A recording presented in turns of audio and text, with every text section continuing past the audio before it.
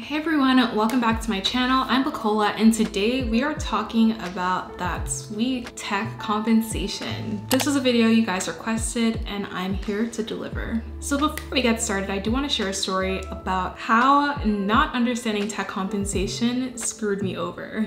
When I got my first offer as a software developer, it was a big deal for me because I went from a $50,000 salary to doubling that in yet less than a year. But you know what? I'd read a lot of articles online and I knew better than to accept the first offer.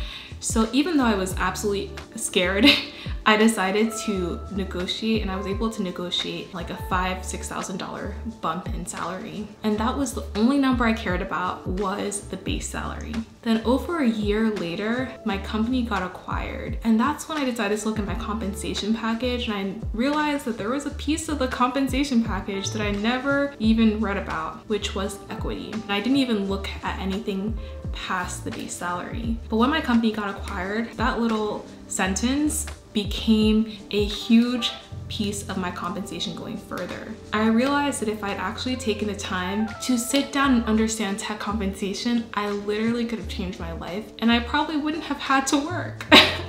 So in this video, we're gonna be talking about tech compensation, but I wanted to start off by letting you guys know, please read every piece of your tech compensation package and don't be like me. Making this video for me five years ago because I didn't have a lot of people talking about tech compensation. I didn't know anything about how it worked. And this video should provide a comprehensive view of everything you need to know about tech compensation, not only like your salary, your bonus, but also about equity from RSUs to talking about options and how to value your options at a startup. And I hope you enjoy.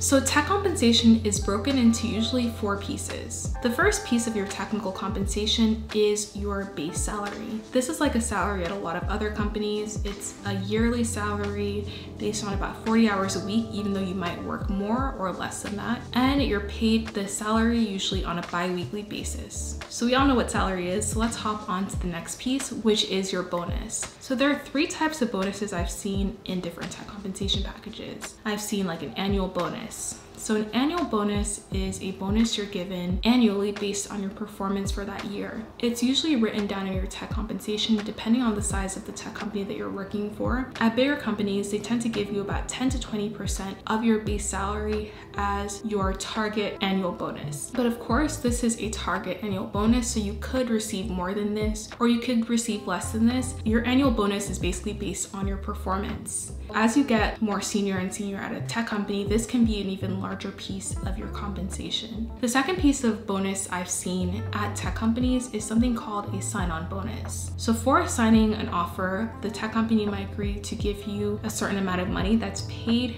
within your first two pay cycles, and that's called your sign-on bonus. But you wanna make sure to read the fine print because for certain companies, there might be a clause that says if you leave the company within a year or within two years, you have to pay back that sign-on bonus. So it's really important to read the fine print and understand if there are any clauses to taking your sign-on bonus. So for sign-on bonuses, I've seen new grads get sign-on bonuses and experienced people get sign-on bonuses. So your sign-on bonus can be negotiated based on a couple things. If you have competing offers and the company wants to be a more attractive offer, they might increase their compensation by increasing your sign-on bonus.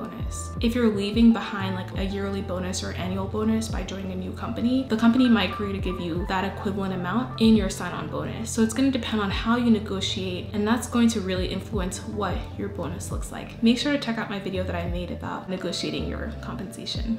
So the third piece of bonus that I've seen at tech companies is something called a relocation bonus. So if you're moving across state lines or you're even moving in that same state, the company might give you a small bonus to help you with the moving process. So that's something to see if you can negotiate and ask for if you're going to be joining a company that's in a different state or very far away from where you currently live. And this is something I've typically seen more for larger tech companies as well. So another piece of compensation that no one really talks about is definitely not the sexiest part of your compensation are your benefits. I feel like benefits can be equivalent to an additional 500 to $1,000 a month. So I would again read the fine print and I would look to see, is your company giving you free healthcare? Are they doing a 401k match? Are they doing an HSA contribution? Do they have perks like a free gym. Like at my old company, I had free Equinox and that was equivalent to an additional $250 a month because I go to the gym pretty frequently and that was a perk I was definitely gonna use. Other perks I've seen are things like free food, free transportation. So all these different things you should consider when you're looking at your tech compensation. And when you're comparing two different offers, considering your benefits can really help you understand how much each offer is really valued at.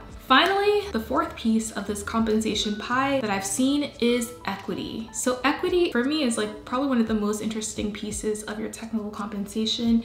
Before we hop into the discussion about equity, I do want to thank the sponsor of this video, Career Karma.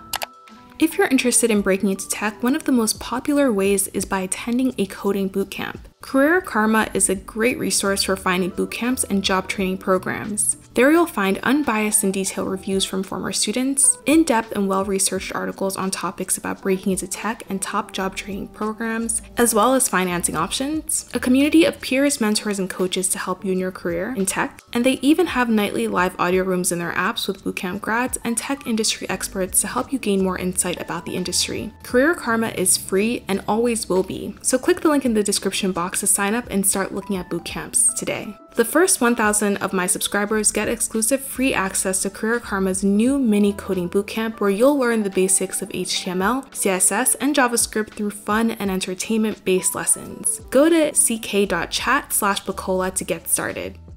So what is equity? You can see equity as just an ownership stake in a company. For a public company, this is directly tied to their stock price, but at a private company, this equity is seen as sort of like paper money and the real value is really seen when the company goes through either an IPO or gets acquired. That's when you actually get the monetary value of this equity. But you can still calculate what it could be and we'll talk about that later. The whole idea of equity is that it's supposed to align the business business's interests with the employee's interests. When you think about it, ideally, employees should want to work harder to increase the stock price because that just increases the amount of compensation they get. So it sort of is a way to sort of align the business interests with the employee's interests. So kind of understand equity a little bit more, I think you ha we have to see it in two different ways. We have to see private company equity and your public company equity. Let's start first with your public company equity. When we're talking about public companies, we're talking about big tech companies like your Google, your Facebook, any company that's on the stock market. The type of equity these companies usually give is something called an RSU.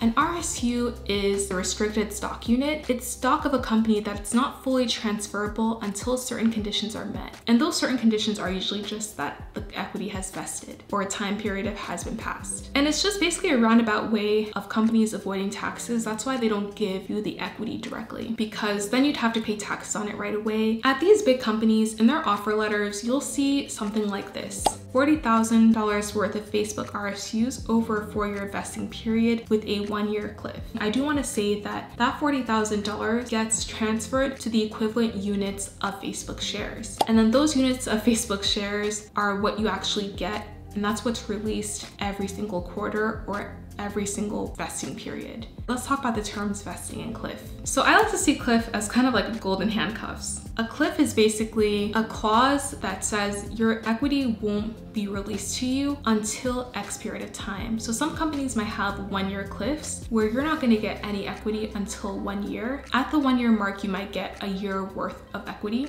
So one fourth of your equity might be given to you. And then every vesting period, which is the period of time they're gonna continue to release the remaining shares to you. For some company, it's quarterly or monthly. So every vesting schedule, you might just get X amount of shares every month or every quarter. And something to note too with like your vesting schedule is taxes. I know we've kind of talked about a lot of things, but like I mentioned earlier in this video, at the period of time your equity vests, you immediately pay income tax on that equity. After you pay income tax on that equity, you could pay a secondary tax. So if your shares increase in value and then you sell them less than a year, you'll pay short-term capital gains tax on that equity. If you wait over a year and there's been an increase in the value of those shares, you'll pay long-term capital gains, which is less than short-term capital gains. And once your equity is vested to you, then usually you'll see it in the whatever brokerage account that the company uses. That equity, those shares, like 10 units are released to you. And then you can decide if you want to sell them in the public market or on the stock market if you want to sell those stocks to get cash. Equity at these companies, at public companies, is definitely a big deal. Like, for example, if you think about Tesla employees who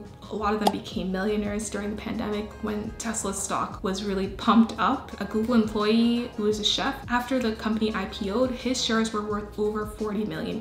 So equity is a huge piece of the puzzle, especially at public companies. Now let's talk about how equity works at private companies. So a private company is a company that's not on the stock market and it's usually called like a startup and it can be a company that's usually Series A or Series E round of funding. So this is where things can get really tricky and kind of exciting. And at startups, you can kind of see your equity as a lottery ticket. If your company IPOs or gets acquired, you could find yourself a millionaire overnight, or your equity could be worth zero because most startups actually fail. So with your startup equity, it's really important to understand that most startups fail. So this type of equity is like a lottery ticket and is a little bit more risky than a public company. So startups have RSUs, which I've kind of explained before. The only difference is that you can't sell them at point investing easily. You might have to find a roundabout way to sell them. A very common way startups give equity is something called options. So a stock option is the option to buy a share at a discounted price known as the strike price. For example, a startup might give you 10,000 options over four years. When those options vest, like if they, they can vest just like RSUs quarterly or monthly, then you have the choice to exercise those options. And what it means to exercise an option, that means that you're just buying the option at the strike price. And you're hoping that when the company has an exit through an IPO or getting acquired, the share value of that stock is more than you paid for when you exercise those options. So you're hoping to make money off that spread. There are a lot of reasons why someone might choose to exercise their options before the company gets acquired and it might be for like tax purposes. You want to pay long-term capital gains, you don't want to pay short-term capital gains. There are tax benefits of exercising your options, but you're also taking a risk because there's a chance that at exit or maybe at failure, the company isn't actually valued more than the strike price. So then how do you value your equity at a company? So you want to follow this equation. You want to look at the current valuation of the company and the number of shares outstanding. And this kind of shows you the current worth of your options. Another thing you wanna watch out for too when you're valuing your options is the dilution. So in future funding rounds, you wanna make sure the company isn't issuing new shares so that the shares are worth significantly less. So dilution is something you definitely wanna check out when you're valuing your options. So there you have it, a whole comprehensive guide about how to value your startup equity, understanding more about public company equities, and all the pieces that go into your compensation. If you found this video helpful, make sure to tap that subscribe button and hit that like button to show this channel some love and some support. Also make sure to check out all the resources below because I used a lot of resources to understand more about equity and to understand more about tech compensation. I hope you found this video helpful and I'll see you guys next time.